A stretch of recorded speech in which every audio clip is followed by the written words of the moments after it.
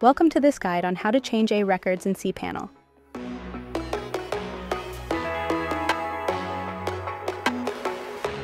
Today, we'll walk you through the steps to manage the A record for your domain.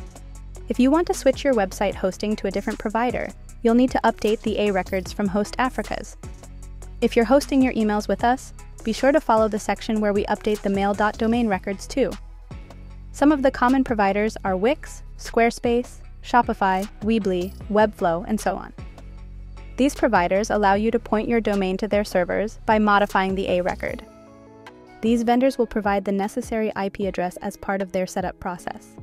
Before we start, make sure that your domain's name servers point to our servers. Okay, let's start managing the A record. First log into your cPanel account. If you're not sure about the login process, check out our guide linked in the description below. In cPanel, use the search bar and type Zone Editor to quickly find the option. Find the domain for which you want to change the A records. Then click on the Manage button next to it. Click on A under the Filter option. You'll see a list of current A records for your domain.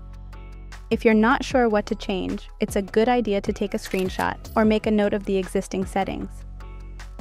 Locate the domain with the A record and click on the Edit button. Copy the current IP address and save it for use in the next step. Enter the new IP address provided by the vendor and click on Save Record. Now let's update the records for mail.domain. This will be mail.whatever your domain is. Click on CNAME under the Filter option. On the mail.domain, in this example, we'll use mail.example.com, click on Edit. Then change the type to A. Now enter the saved IP address from the previous step, and then hit Save Record. To change the MX record, click on MX from the filter options. Then click on the Edit button next to the domain and change the destination from domain name to mail.domain. In this example, we'll change example.com to mail.example.com. Don't forget to save the record. That's it! You've successfully updated your A record. You can always restore the DNS records to the default settings.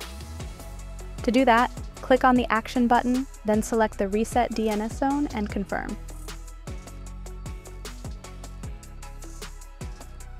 You have successfully reset the DNS zone for your domain. Remember, DNS changes might take 4 to 24 hours to propagate across the internet. If you found this tutorial helpful, hit the like and subscribe icons for more. Stay tuned for our next tutorial. Until then, happy hosting!